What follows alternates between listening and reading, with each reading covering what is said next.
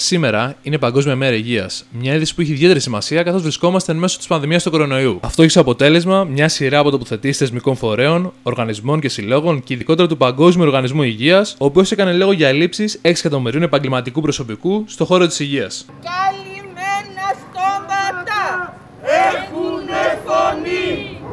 Μες στην πανδημία σπάνε τη σιωπή. Τα καλυμμένα στόματα έχουν φωνή.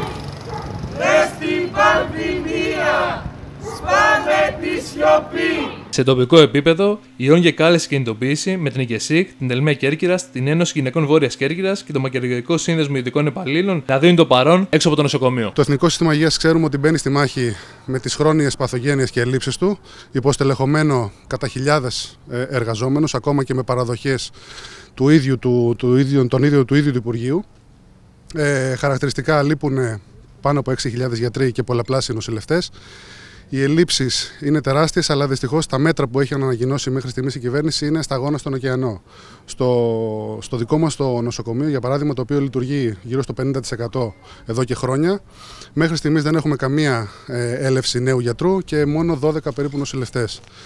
Ε, όσον αφορά τον εξοπλισμό, ξέρουμε ότι στα νοσοκομεία αναφορά στις Αθήνες και τη ε, υπόλοιπη Ελλάδας, τα οποία είναι αυτά που τραβάνε το μεγαλύτερο ζόρι, έχουν αυτά που έχουν τη μεγαλύτερη κίνηση, υπάρχουν πολύ μεγάλες ελλείψεις. Υπάρχουν δυστυχώς ήδη πολλοί συνάδελφοι, περίπου 500, οι οποίοι αυτή τη στιγμή είναι σε καραντίνα. 125 από αυτούς νοσούν. Καταλαβαίνει κανείς τι θα γίνει εάν αυτό το νούμερο αυξηθεί. Για μα είναι πρόταση του Παγκόσμιου Οργανισμού Υγείας, ο οποίος λέει ότι καλέσει καραντίνες, αλλά η καραντίνα είναι αμυντικό όπλο. Θα πρέπει να περάσεις στην επίθεση για να αντιμετωπίσεις τον ιό. Έτσι. Και λέει τεστ, τεστ, τεστ. Δυστυχώς εμείς δεν κάνουμε. Ε, όχι απλά δεν κάνουμε στο γενικό πληθυσμό, δεν κάνουμε ούτε στους υγειονομικούς. Υπάρχουν χώρες στο εξωτερικό οι οποίες ανατακτά χρονικά διαστήματα κάνουν τεστ στους υγειονομικούς και πάρα πολύ σωστά, ούτως ώστε να μην νοσήσουν οι ίδιοι και βγουν εκτός μάχης, αλλά και να μην μεταδώσουν στους ασθενείς. Πλέον θα πρέπει οι εργαζόμενοι, όλος ο λαός να βάλει απέναντί του τον πραγματικό, τον ορατό εχθρό. Όπου ο ορατός εχθρός είναι αυτό, ε, αυτός ο τρόπος οργάνωσης της οικονομίας και της κοινωνίας που στο κέντρο της έχει το κέρδος των μεγάλων επιχειρηματιών.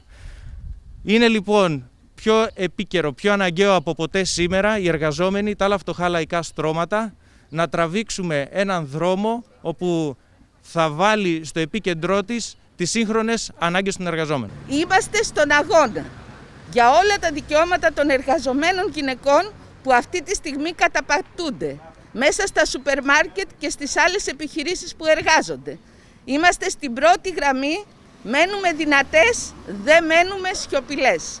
Απαιτούμε εδώ και τώρα άμεση επίταξη όλων των ιδιωτικών δομών υγείας, μέτρα ατομικής προστασίας για όλους τους εργαζόμενους στα νοσοκομεία, αύξηση των κρεβατιών ε, μονάδων εντατικής ε, θεραπείας και αυτό ήρθαμε να διεκδικήσουμε, να φωνάξουμε.